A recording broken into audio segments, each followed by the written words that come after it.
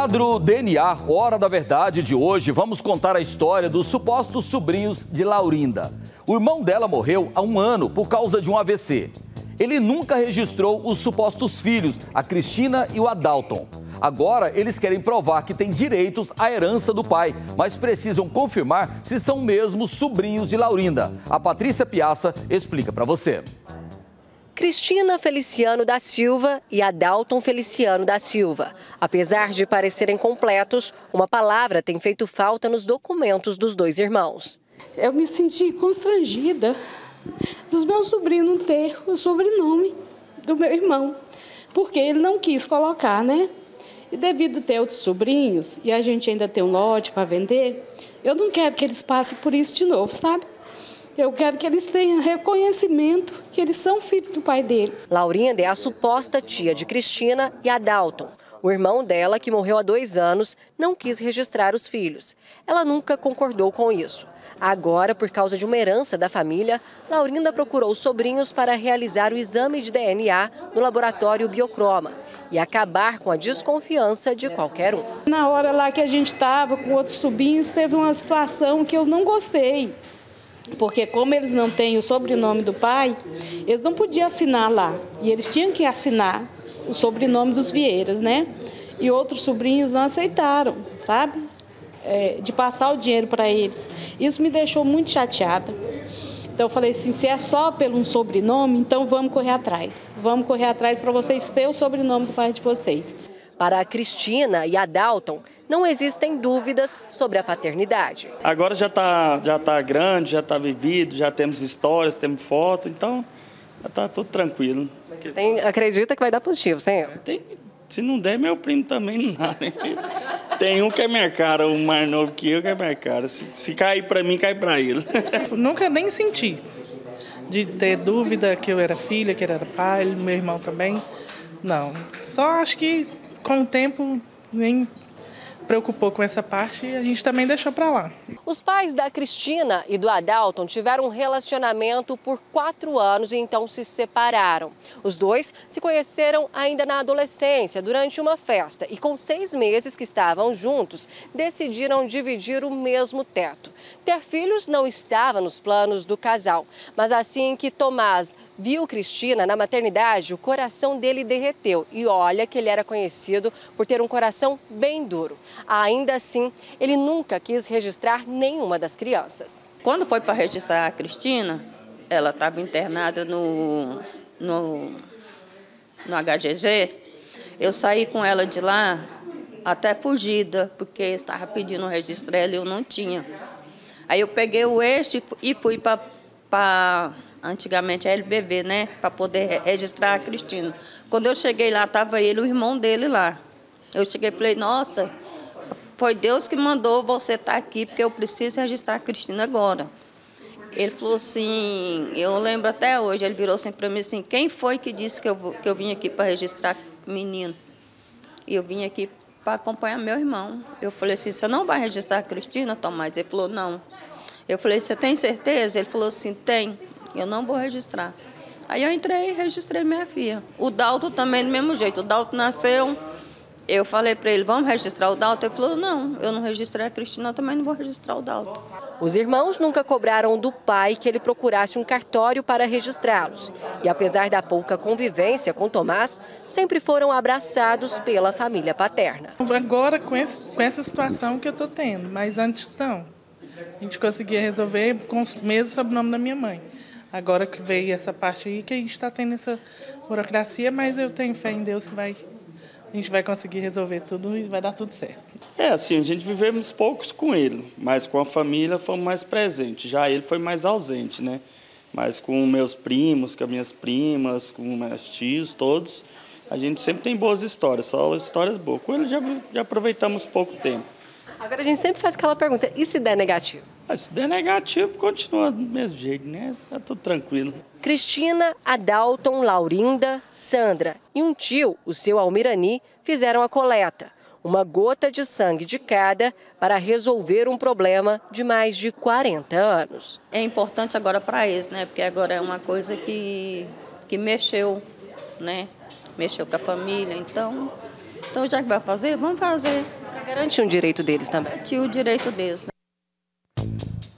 Eita, a Laurinda está aqui no estúdio. Laurinda, boa tarde. Boa tarde. Tá nervosa, mulher? Estou emocionada. Ah, a Laurinda é suposta tia dos dois, né? Da Cristina e do Adalto, né? Sim. Uhum. Agora, a, estava indo tudo bem, apesar de, de, do seu irmão não ter reconhecido, até surgir a história do inventário. Sim. Até a gente ter que receber uma precatória. E aí, é, os outros irmãos não reconhecem os dois como irmãos. São sobrinhos. O, so, é, sobrinhos. Sobrinhos. Teve uma situação que não, eles tinham que assinar o sobrenome da família para constar, para pegar esse E aí não dinheiro. teve como comprovar. É, aí teria que ir para foi para a conta de cada um dos outros herdeiros. Aí teve a situação de uma pessoa não querer passar. Ixi.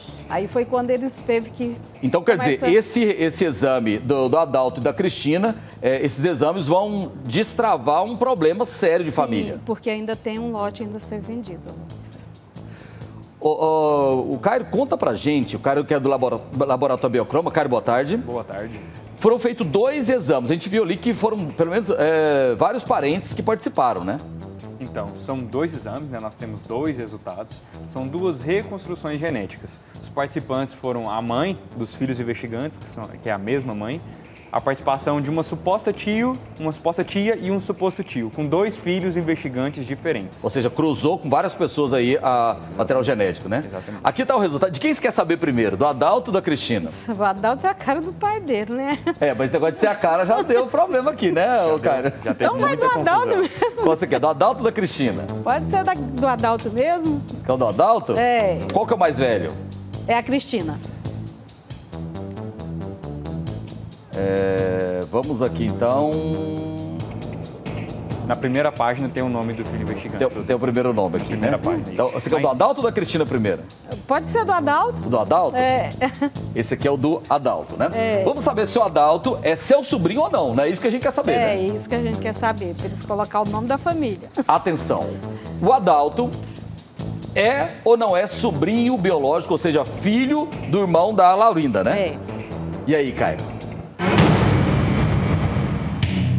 De acordo com as análises genéticas realizadas entre os participantes, a probabilidade de vínculo genético entre o filho investigante, o Adalton Feliciano da Silva, e os parentes do suposto pai é existente e corresponde a 99,9%. O Adalto é seu sobrinho. O Caio vai te passar aí, ou seja, está comprovado, o Adalto tem direito à herança, tem direito à herança, né? E a, a gente vai é, fazer o seguinte. Tá curiosa pra saber? Menina, você tá chorando? Meu Deus. Ó, a, a- a Cristina, como é, que tá- como é que é a história da Cristina? É Cristina? Ah. A Cristina, eu convivi mais com ela, né? Porque foi a primeira.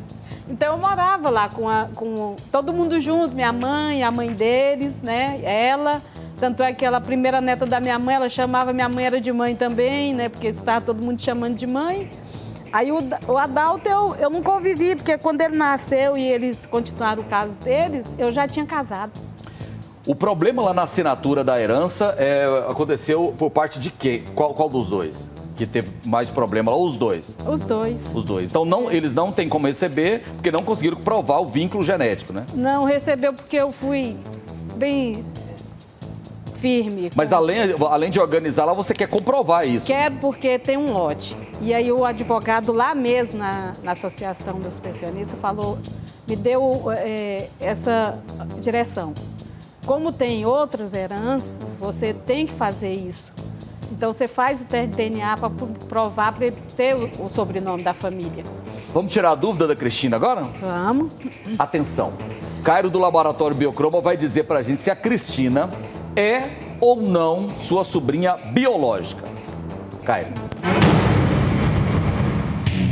De acordo com as análises genéticas realizadas entre os participantes, a probabilidade de vínculo genético entre a filha investigante, Cristina Feliciano da Silva, e os parentes do suposto pai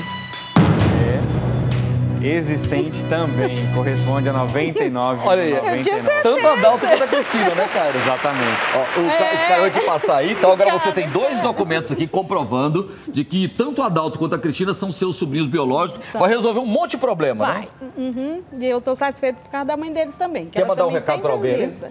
Não, só câmera 4 ali, manda um agradecer. recado. Agradecer a Sandra, né? Porque para ela não foi fácil reviver, né? Tudo isso e ter que passar por isso.